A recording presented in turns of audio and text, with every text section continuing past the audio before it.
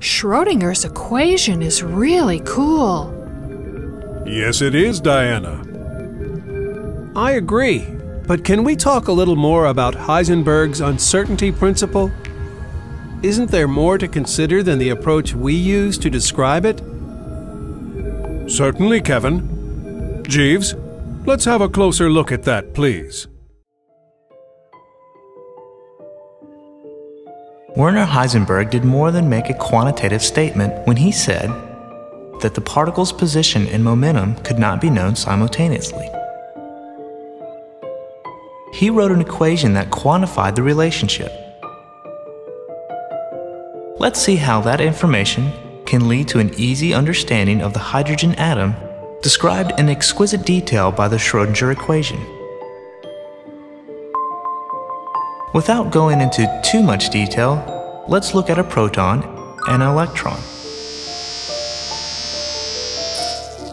Since the electron has a very tiny mass, it can occupy a very large region of space.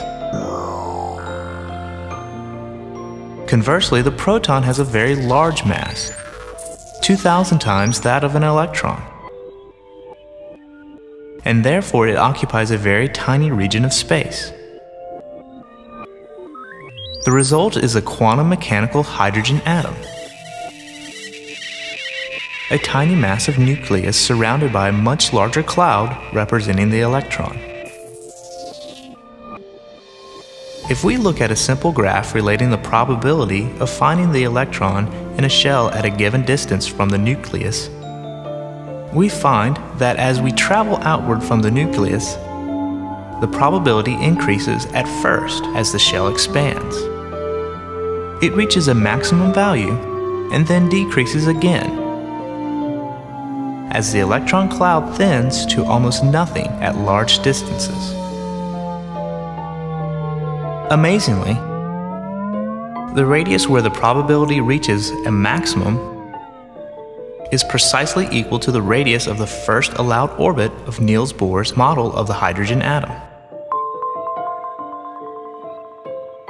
And its energy is exactly equal to the energy of an electron in this orbit in the Bohr atom. So this is a very good picture of a hydrogen atom with an electron in the lowest energy state. the electron occupies a cloud instead of an orbit. But it spends most of its time at the radius predicted as an orbit by the Bohr model. It also spends most of its time possessing the energy that an electron in that orbit would have.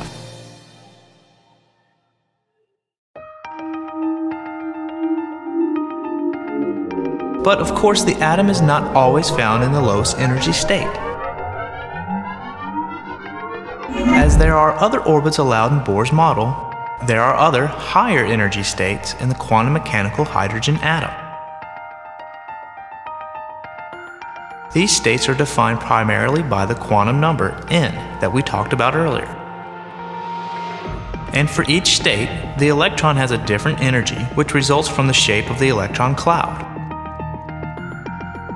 For n equals 1, called the ground state, the shape is a symmetric cloud, the same in all directions. For n equals 2, the shape can take two forms, although both shapes have the same energy. One is a double spherical cloud, one sphere inside the other, while the other shape for n equals 2 is in the shape of a dumbbell. For other values of n, the shapes can be pretty strange. Like this torus, plus dumbbell shape.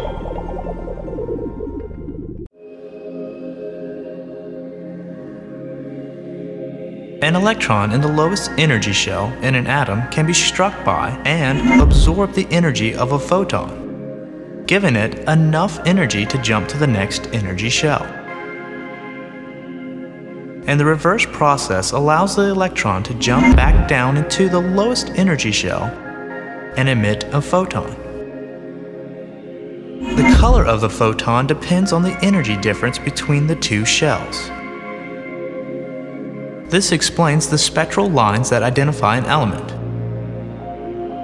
Since white light contains all the colors in the spectrum, when we shine white light on a sample of an element under the right conditions, the atoms absorb all the photons that allow their electrons to jump to other energy shells.